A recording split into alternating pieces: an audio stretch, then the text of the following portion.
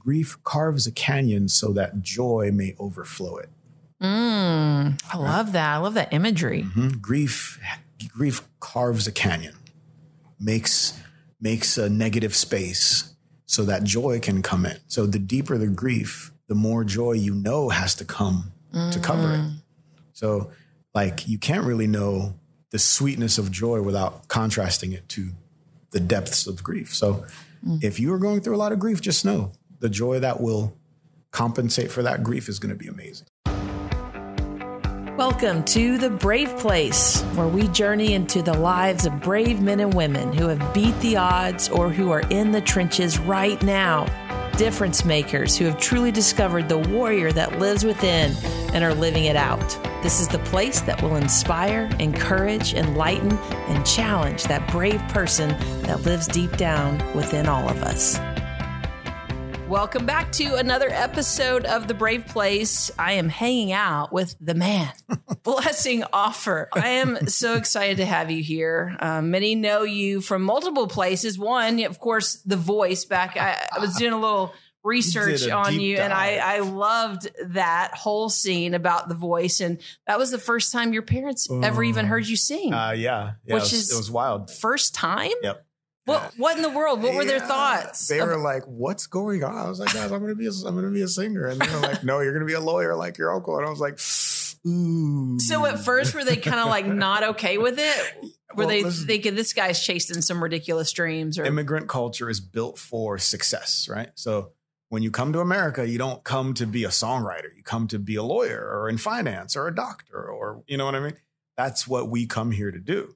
And so when I go, hey, I'm gonna do this thing in the entertainment industry, uh, you know, singer songwriter. My parents are like, oh God, no. they're like, absolutely not. absolutely. But like they they they're fine now and they love it. Um, That is wild. Was that a turning point for you, like musically? Would you say that helped you? It's funny. The voice was super, super helpful. It was kind of a way to get into meetings. As you can imagine, like back when American Idol was like the juggernaut. Once you were on, on American Idol, you got a record. Mm-hmm. And then when the voice kind of came up, there were a lot more of those. So I always say the voice was a really good entry. Okay. Um, and and just a wonderful experience all around. I pretty much moved right to Nashville and started writing songs three times a day, as I did for a while before I got my record deal. So, um, but the voice helped a lot. I mean, here you are. You sit today, nominated for a couple of Grammys. You Mhm. got some Dove Awards. um, and your music is just phenomenal. One of the things I, I love about the lyrics to your music, and I know uh, you are definitely a true artist at heart. Um, you're so real Mm. and you're raw about Mm. your life, and so you're not afraid to be transparent and go into the hard stuff. Mm. Um, but then on the other token, I feel like you have such a healthy mix. So there's also this God factor there Mm. where you're honest about this is hard stuff, but God's right there with me, and we can have both Yeah. And I think life is all full of both, right? Both and. I know you started out in Nigeria. Born in Nigeria. Yeah. So tell me about that. How'd you get over here to the US? Tell me from the, let's just Ooh, go. Okay. So, born in Nigeria, I came to the States with my uncle who played professional soccer. No kidding. So, he uh, played for the Nigerian national soccer team. That got him to America where he started playing for colleges. And then, actually, two years into my life, my grandmother realized like I would turn my face sideways. So, she goes, I don't think Blessing's see out of his left eye. And so, Mm, she was the first person to kind of like clock it, you know? what I mean? right. Just notice something wasn't quite right. Because I would I would center my right eye to the center of my body to keep the vision center. You know what I mean? And so she's like, oh, that's interesting. So she was the first person to get my parents to take me to a doctor. And so they diagnosed congenital glaucoma. So my left eye was born without vision. My right eye had vision. Um, and so around six, I came to America with my uncle to stabilize the vision that was in my right eye. Um, so I came to the States, went to Yale, grew up in Connecticut. So I went to Yale Eye Center. Um, really, really sweet, wonderful people. Some of my favorite memories were like every time I had a doctor's appointment, I was like, I know. Her name was uh Corrine. Okay. Uh, wow. You remember her gonna- name. Yes. Uh, and Corrine was always going to bring me cookies. So she would Mm. make me cookies at home. And I, with all due humility, I was everybody's favorite.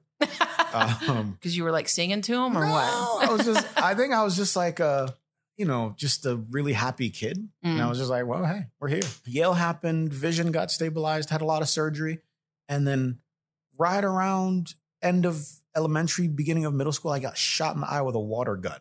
And it detaches the retina in the good eye of all of all the things. No way. Unreal. Uh-huh. And so that causes me to lose a bunch of the vision in the right eye. And then that accident happens around the same time my uncle buys me uh, my first upright piano. okay. So this obsession takes hold as I had to sit really still to let some of this surgery heal. Right. So post the surgery, they were like, hey, he can't run around for a while. We really need to let this take to see if we can pull back some of that vision. Right. And so right around when I had to sit still, there was a piano. Mm. And so all my sitting still happened at the piano. And so all all of whatever it is I do today is because for a while when I was 12, 13, I had to sit still. You know? Oh, wow. Okay, so let me let me retrace real Mhm. quick. You moved to the US to get your eye checked out at Yale. They're going to see if they can preserve your left eye. Mm, The, the vision in the right eye. Just eye. keep the vision in the Yeah. right eye. The left eye is not going to happen basically. from birth. N- never saw anything. okay. Yeah. And so, So we weren't worried about that one. that was successful. yes. And that and you were how old whenever that's happened? You know, eight, seven, Okay. eight. Yeah. and you continue to live with your uncle. Mhm. You're hanging out in the U.S. Mhm. He's playing pro soccer. Yep. He's at this point um, a going into law school. Okay. So athletics brought him here. He went to all the schooling, and now he's just a smart guy in law school. Man, your uncle's a cool man. he's, he's a really cool dude. Yeah. Um, and so then you're living with your uncle, hanging out in the backyard with Mhm. water guns. Yep. Shot in the right eye, the Mhm. good eye. Good eye. Now we're in emergency surgery Mhm. Yep. situation. Yep, yep. After surgery, you're at the piano. Your uncle gets you a piano, and so because you're having to let your eye heal in, in hopes of that. Correct. Okay, I'm I'm caught up. Yeah. Okay. Um, and so right around, I mean, this is we're getting into eighth grade, ninth grade. I hear about this arts magnet school, and it's the school where they they pull they pool kids from all over the surrounding towns, and they say, "Hey, we'll set up these auditions, and if you pass, you get to go to this extra education for whatever your art is." For me, it was music, so we had to audition. I got it. I made it in, and so for all of high school, after taking my core classes in Hamden, Connecticut, I would get on a bus with about 20 other kids and they would drive us into New Haven for four more hours of school. But music related. Music for me, yeah. Yeah. Some other some kids were acting, some kids were you know, writing, Okay. some kids were visual arts, but yeah, for me it was obviously music. So Okay. That's then music really got serious cuz I was like, man, if I could be home at 2, but I'm going to choose to be home at 5 Mm-hmm. because I really love this thing. Yeah. And I want to give it my afternoon and figure out homework further into the night. So I didn't end up going to bed till like 11, but it was worth it. Yeah, you're passionate Yeah. about it. Yeah, yeah. Obviously, music is a huge part of your life. Mhm. Did you know that would be that way? Like, would would you be six or seven years old and you're just singing around the kitchen No. and someone's like, "Oh my goodness, this guy"? Nope. He- no, nothing like that. No, don't. I was musical, but I loved basketball. Okay. and I loved anything that involved not sitting still, right? And so every time I'd go to piano lessons, like as a seven, eight, nine year old, the, uh, my teacher would try to teach me classical music. I was like, I don't like this, and I would I would swing everything. I'd turn everything really jazz. Mm. And so like she was like, okay, well, her name is Marie Celso. Props, Miss Marie. Um, she'd say, well, Blessing needs to go. You, you should get him some jazz lessons because he has this really natural desire to to play differently and, and blah blah blah. So that's kind of how we pivoted into into jazz. Mhm. But music was always like even back in Nigeria, my whole family sings. Everybody sings, but Mm. like no one goes, "Oh, you should do this for a living." Where I'm from, you just you just sing because everybody sings. you know what I mean? Right. So it wasn't until I got older, probably middle school, high school, that I was like, "Wait, I want to be a songwriter." You know, Okay. What were you listening to? What was inspiring you? everything. okay. Um, Any heroes in there? all of them, the Jacks, Michael Jackson, everything, Motown, Marvin Gaye, Stevie, Beatles, um, My uncle was a huge Lionel Richie fan. So my uncle from Nigeria knew a couple artists. He Okay. knew he knew uh, Lionel Richie and he knew Dolly Parton. Okay. Like what a wild thing that no these guys kidding. have got so far into the world that like soccer players in Nigeria knew their song. So uh, I, I grew up kind of listening to all the stuff he grew up listening to. Any music I could get my ear to, I was really into it. Mhm. Yeah. Who's your favorite out of all of those? Mm. Lionel Richie. I, Stevie I'm a, Wonder. I'm a huge Marvin fan. I'm a Okay. huge Donny Hathaway fan. I'm a huge James Taylor fan. Okay. I just love songwriters. I love people that are great communicators. Stevie is God. Uh-huh. You know what I mean? yeah. So like they're just some untouchable deities, Paul McCartney. You know what I mean? Realizing this talent that you have, there's got to be there's. I mean, you've lost sight in your right eye. Mm-hmm. Yep. So there's got to be some true, legit grief Yeah. happening there. So as a, a young kid, I mean, 12, 13 years old, that's a very, you know, impressionable age, mm-hmm. vulnerable age. Mm-hmm. You could go a lot of directions with that. You could go into full blown rebellion mm-hmm. and just say, you know what, I'm done with you, God. Yeah. Like this happened. Or you can lean into God. Maybe you did a little bit of both. I'm just curious how you navigated that. Here's where I always put a pause and a pin in something and go, the easy story here to- is to be like, but God was right there the whole time and everything was great. right. And I think sometimes that's what people want to hear. Mhm. And I think the more we tell that, pardon me, cheesy Mhm. story, the less the world believes you. Mm. Because I don't think that's how that goes, right? Yeah. There was not a part of me that doubted God for a second, right? But it was really hard. And like like my dad was the first Christian in our immediate family back in Nigeria. So I've memorized John 3:16 at 2 years old, right? Yeah. But when I came to the States, honestly, my uncle didn't really go to church. And so it wasn't like I was steeped in Christian, Right. you know? But I knew beyond the shadow of a doubt because my dad taught me, you know what I mean? And so as all this was happening, I was questioning and wrestling and and quite frankly, it was like, it wasn't so much God, what's going on? It was like, will my friends still like me? Oh. You know what I mean? Yeah. It was like, wait, everybody's used to me being this great athlete, and now I can't play basketball anymore. Mm. So, like, I think sometimes we forget the day to day tangible thing that is struggle in exchange for saying something like, and then the valley was low. But, like, what is, it makes my head explode. What does that mean? Right. Yeah. When I was 13, it was me worrying that I wouldn't have friends anymore Mm. right? And I think when we can go into the world and be honest, because yes, I was worried, even with all the faith I had, right? Like just because you have faith doesn't mean you're free from humanity. You're still human. And sometimes, you know, we we say the world does this toxic positivity thing. I think Christians do the toxic positivity thing where it's like, don't worry, guys, you have just enough faith and it's good. And you like Mhm. you know, you do that like rah rah victory thing, and people hear it and and then they go, wait, but I don't. I'm still having a hard time. Am I not Christian enough? Right? Mm. And my deepest want with everything I do is to say to people that not every day has to be a victory.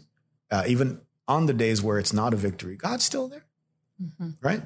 You know, Jesus never said, once you follow me, you're golden, Right. right? He had the worst sales pitch ever. It was, they're gonna hurt you. Pick up your cross and follow me. Yeah. Right. It it's a sales pitch that, you know, generally would not work. Mhm. Right. Being a believer does not pull you out of the day-to-day struggles of going, will my friends still like me? Mhm. And so everywhere I go, I always say, listen to my voice. You can both know God deeply and still wonder if you'll have friends, Mhm. right? And that's as soon as you can be honest about that, your heart will be better. Yeah, I Yeah. love that. Yeah. Yeah, and another thing that Jesus sales pitch, where he said, you know, in this life you'll have many troubles. Yes. He never guaranteed us a life without troubles, and and um and I I really appreciate that viewpoint, just the acceptance of this is hard, Mhm. and it's okay to say it's hard, Mhm. and it's okay to admit your insecurities and the the parts of life that you don't want to tell anyone, it's okay to talk about it. And, and I think you do that in your music so well. And and that's what I want to talk about a little bit about your your album, My Tribe, which mm. is phenomenal. Thank you. And uh, I just appreciate your words. And um, my son and I, we listen to Brighter Days like it's our job, don't we, bud? Yeah. He's he's sitting in on this interview with us, and so my he, accountant thanks you deeply. your accountant. there you go. Um, but so much good stuff, and and I just want to know where you think, like from your own heart, where you even have the courage to to be so honest about that, and yeah. you, are just real. You're you're authentic. You're yourself. And so I want to know where does that come from within you? Um, There's a security there. Yeah, I can only be who God made me to be, and I can only the desires in my heart if I take the time to be quiet and still and and kind of center myself on all the right things. The desires I have are because God put them in there. I grew up in Nigeria and Connecticut, which are not places you'd think of as churched. And so I I think to myself, I want to make music for my friends who are super kind and wonderful and don't go to church. And so I want to make music that they can walk into without having an advanced degree in Christianese. And I know that if I throw fluent Christianese at them, they're going to go, mm, nope. Right. Right. But if I, like Paul says, if I strive to be a Greek for the Greeks, right? And a, and a, a Jew for the Jews, et cetera. He goes, whatever I need to do to, to spread the gospel is what I do. So if I say to myself, okay, I know so and so isn't quite ready for, you know, for God to love the world that he gave, but he might be ready for brighter days, mm. right? He might be ready for something a little more nuanced you might be ready just for a love song, right? And and so when I signed with Capitol, I said, "Hey, listen, guys, I'm going to make music that I would listen to in Connecticut and in New York, and we have to find a piece about that because you know, not every minute is like a worship song. Mm-hmm. So like, you know, that's that's just what I strive to. I just want to be real. Like if I don't like it, then why would I want so and so to like it? Yeah. Yeah. Well, and, and God obviously wired you that way um, and that's how he wants to use you. Um, and just you, um, you know, being a blind man, um, some people would look at that and and think, "Oh man, I don't know how he does that every day." you know? Yep, they sure would. Yeah, and so I want to know how have you seen that be a huge gift in your life? How has God used that? You know, I think that mindset is everything. And where I'm from, life is hard is the given, right? It's the basis. Life is hard, check, right? So if I'm going through something that's hard, I don't go, God, this isn't fair. I go, yeah. Right? So that's a different mindset than than I encountered in America, right? In America, we have the uh, understanding that whether we verbalize it this way or not, life should be good. Mm. Right? So it's like a, a topsy turvy understanding. Life should, because people go, life's not fair. And the answer in Nigeria is, yeah, correct. Whereas the answer in the West is, God, how come this isn't, this isn't fair? It's like, I lost a bunch of that vision in my right eye. And that was very painful and, and the struggle was real. And life's not fair. Yes. And then I get music. I get the community I've gotten. I get the career I have. I get the people that have welcomed me into their I get so much from God. And so if God sees fit to take vision, okay, I could dwell on that, but also hear all the other things that he in his kindness has brought me. And so how do you weigh that? Mm. Except to go, okay, God, you're still he's still good, you know, because he didn't have to do any of it. And so I think sometimes again, avoiding cheesiness, it's not about going this isn't hard at all. But like whatever I, I say this to people and I think they freak out. We're all disabled somehow. Mm. Right? Everybody I wouldn't want to deal with depression. I wake up 99 times out of 100 the happiest person you've ever met. And so I get mental well-being, right? I I get to I get to be me. you know what I mean? And honestly, that guy's winning right now. And so uh, someone might have all their vision, but they wake up and can't quite think of a reason to get out of bed. And so I think when you see someone who is quote unquote disabled, you go, that's so sad. How do they do it? But like we're all walking through something, right? Um, not being able to see is not hard, believe it or not. I don't I don't mean that in a brave way, but like you should see what my iPhone does. It's crazy, right? So the world's fine. I'm fine. But it's because I understand that my physical material well-being is not the point of God in my life, right? And I think that's something we all misunderstand. If God loves us, then we must be healthy? No. We must have money? No. We must have a nice house? No. We must live in a nice neighborhood? No. None of that matters. That has nothing to do with God. Me not seeing says nothing about God except that, you know, like Jesus says when the when when those guys walk up and they say, How come this guy was blind? Who sinned? And Jesus said, He's blind so that God might be glorified. That's right. Right. So all that to say, one thing does not equal the other thing. You know what I mean? That was a big old rant. Oh, I'm I'm captivated. I'm I'm serious. Uh, your words are powerful, and God's using you in a mighty way. Um, not just through your music, but through moments like these, conversations like these. So I'm truly grateful for what you're doing throughout this world, man. Thank you. You're just awesome to talk to. So I really appreciate just your honesty and openness and and wisdom. So I can Cheers. tell you're you're rooted in the the right stuff. So it's You know, God. It's so it's God. It's my dad. It's my uncle. It's my family. It's good soil. You know. Mm-hmm. Well, just wrapping up here, what would you say to someone who is in that Mm. that dark place right Mm. now, and um, they're trying to hang on to the Yeah. words you're saying, and just maybe a word of encouragement to that Yeah. person? What helps me often is to realize that there's actually there's a lot of false, well-meaning gospel going around, and to steep yourself in who Jesus actually is, what it means to know Him, is some of the best things you could ever do. Which, like I said earlier, whatever condition moment you might be in, how God feels about you or where he is in that moment is so, so, so different from what you might think it is. Like, if you are going through struggle, it doesn't mean God forgot you, right?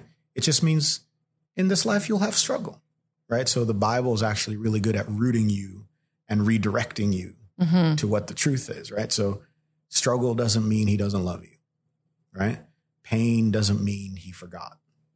It's hard. Nobody should undercut that it's hard, but to keep in mind that even when you're going through the worst of it, Jesus is there, right? Mm-hmm. And his love is probably stronger for you than ever you could think it would be. You know what I mean? And he wants to celebrate when it's over, and he wants to be there when you are in pain and because he's been through pain. Mm-hmm. He's not giving you anything that he himself hasn't dealt with, right? Mhm. Or overcome. That's why he can he can talk to you about overcoming because he's he's done it. And when you can be really honest about grief, then joy is all the sweeter, right? There's this I love this quote from a guy named Albert Camus, who's a mid 20th century existentialist post World War II, dot, blah, blah, blah. I'm a nerd, sorry. So Camus says, grief carves a canyon so that joy may overflow it. Mm, I love that. I love that imagery. Mhm. Grief, grief carves a canyon, makes makes a negative space so that joy can come in. So the deeper the grief, the more joy you know has to come to cover it. Mm. So, like, you can't really know the sweetness of joy without contrasting it to the depths of grief. So, Mm. if you are going through a lot of grief, just know the joy that will compensate for that grief is going to be amazing. Wow. We were hanging out with Blessing Offor. Thank you so much Absolutely. for being a part of this. I love it. Um, thanks for joining us for another episode of The Brave Place. Uh, if you have any comments about what you heard today, you can always email me at Christy at klrc.com. Christy spells C H R I S T Y at klrc.com. I'd love to hear from you. And one last thing, Blessing, if course. someone wants to find you, what's the best place? Hey, uh, blessing, B L A S S I N G O F F O R, Offor. Uh, Instagram, Twitter, all of the above. Just follow along. It's uh, it's It's going to get exciting. Well, I'm going to follow you forever. Please. I'm stalking you. Let's go. I'm stalking you. Thanks for listening to The Brave Place, part of the KLRC Podcast Network.